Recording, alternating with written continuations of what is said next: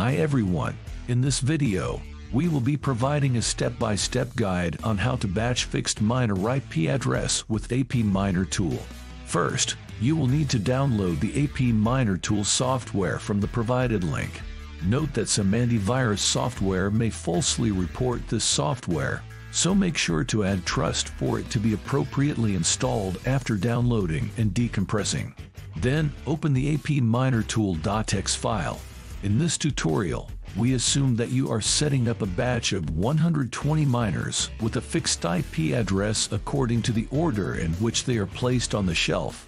The first step is to check for any conflicts between the automatic acquisition of IP addresses by the miners and what needs to be set manually.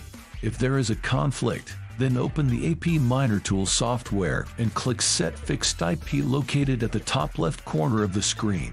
Add 121 to 250 to the batch filling range option and fill in the subnet mask, gateway, and DNS accordingly. Then, bulk fill after adding all 120 numbers on the left side of the software. Now, configure the miners with an IP between 121 to 250. Then, delete all IPs from the original page and press each miner's respective IP button in order from first to last, while confirming each miner's addition to the setup queue when prompted. Once complete, fill in 1 to 120 in the batch file range option again and configure miners with an IP between 1 to 120 to finish the setup process successfully for this scenario.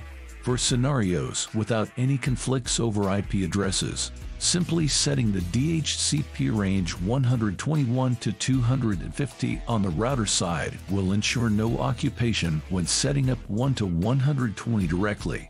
This eliminates steps 4 through 6 as outlined above, as well as provides more direct access to completing the setup process. Start by pressing each miner's respective IP button in order while confirming each miner's addition into the setup queue when prompted, followed by filling in 1 to 120 into batch fill range option again and configuring miners with an IP between 1 to 120 in order accordingly.